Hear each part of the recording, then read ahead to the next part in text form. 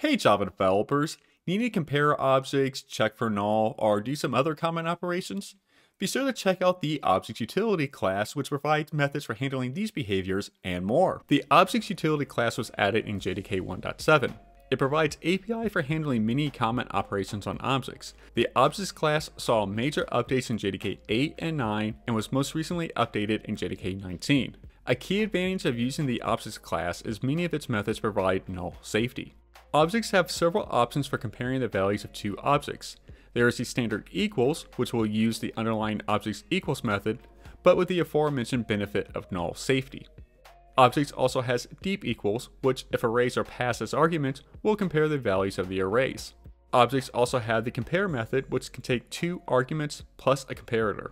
Compare is one of the methods that does not provide null safety, primarily because there's no sensible value to return in the event of a null. Objects also has methods for getting the string and hash code value of an object.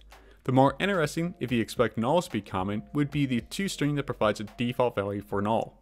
ToIdentityString, added in JDK 19, returns a value of toString and hash code as if it hadn't been overwritten. Objects also provide two options for generating hash code, the aptly named hash code for a single object and hash for providing the hash value of an array of objects. Again here the primary benefit of the objects implementation is the null safety. Objects provide several options for handling null values. There are the various required non-null options which can be used for argument checking. Here throwing a null pointer exception if a value is null, though a custom message can also be provided, as well as an option for providing a default value with require non-null else.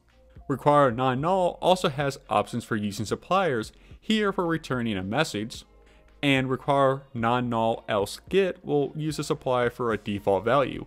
These might provide performance advantages if creating the message or default value is expensive. Objects also has non-null and is-null returning boolean values for use primarily with predicates.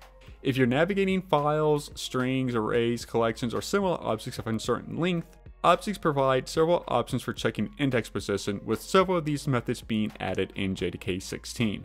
Happy coding!